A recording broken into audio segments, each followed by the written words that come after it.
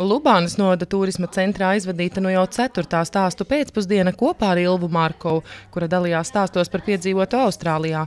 Ilva kopā ar vīru Nauri ceļojumā devās aprīlī, kad tobrīd Austrālijā bija tik tikko iestājusies rudens sezona. Tikšanos vēl interesantāk padarīja ne tikai personīgie ceļojuma stāsti, bet arī Ilvas sagatavotie uzdevumi, papildus apskats materiāli, kā arī vēsturiskie un geogrāfiskie fakti par tālo kontinentu. Kā atzīst ceļotāji, līdz šim viņas mīļākā valsts neapšaubām bijusi Itālija, bet līdz ar šo ceļojumu domas mainījušās. Kā liecina sarunu pēcpusdienas dalībnieku aizrautība klausoties stāstos un aktīvi iesaistoties sarunā, šādas tikšanās ir iegūms abām pusēm. Kā informē pasākuma organizatori, nākamā tikšanās ar Ilvu Marko paredzēta jau šī gada nogalē.